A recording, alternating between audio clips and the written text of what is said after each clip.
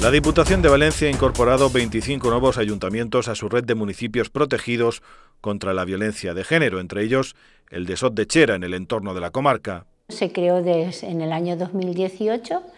y desde que yo soy diputada, que creo que eran alrededor de 40 los que estaban en el año 19, a día de hoy pues son alrededor, bueno, concretamente son 188 municipios de la provincia de Valencia que ya se han, adherido a la red de municipios protegidos contra la violencia de género. Bueno, esto quiere decir que hay un compromiso institucional de todos estos municipios para eh, erradicar todas las formas de violencia ejercida sobre la mujer. Estos ayuntamientos podrán solicitar las subvenciones para proyectos y campañas de sensibilización y prevención de la violencia machista que ofrece el área de igualdad de la Diputación. En la convocatoria siempre hemos ido marcando qué tipos de, de dónde queríamos incidir eh, ¿qué, tipos de, proyectos? Pues van desde la formación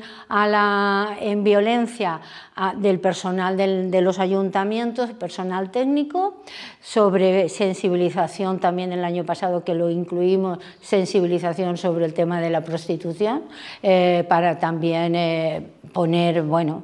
es un problema que tenemos en nuestra sociedad y hay que abordarlo, es un grave atentado contra la dignidad de las mujeres y hay que abordarlo tal cual. También sobre coeducación, proyectos de coeducación que pueden presentar los ayuntamientos. Y este año la modalidad que hemos sacado es, hemos eh, incluido eh, el plan estratégico de la mujer rural. Es, es, otra, otra actividad, otro proyecto que hemos hecho dentro de, la, dentro de la Delegación de Igualdad, que hicimos en su momento un estudio de la mujer rural y ahora hemos hecho un plan estratégico para minimizar todas las desigualdades que hay en relación bueno, por la situación de, la mujer en municipios menores de 3.000 habitantes, en riesgo de despoblamiento y, del interior. También hemos contabilizado aquellos municipios que como Requena